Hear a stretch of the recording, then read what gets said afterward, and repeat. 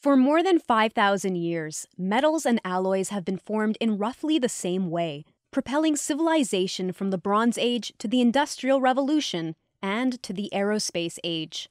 Now there's a new technique on the horizon that could help us take another big leap forward.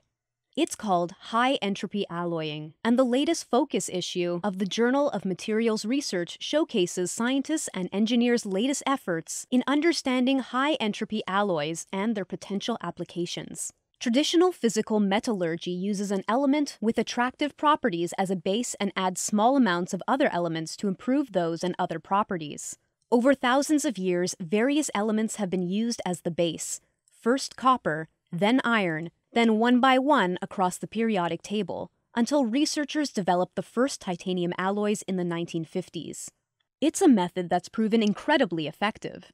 But there are signs that the approach may be reaching its natural limit. In fact, there are no new stable metallic elements to give new elemental alloy bases. That limitation has fueled research into high entropy alloys, Rather than basing alloys on a single element, high entropy alloys use concentrated blends of five or more principal elements to form an alloy base. Conceptually, this technique represents a shift in focus from the boundaries of a multi component phase diagram to the center, a vast and underexplored space in materials science and engineering. This focus issue of the Journal of Materials Research guides the reader through the latest advancements across this frontier.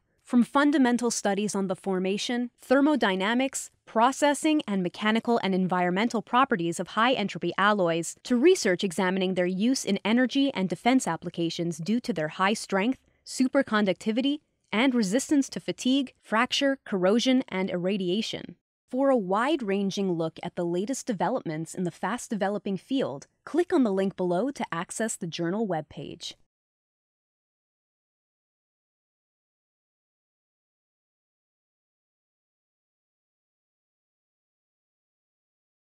Música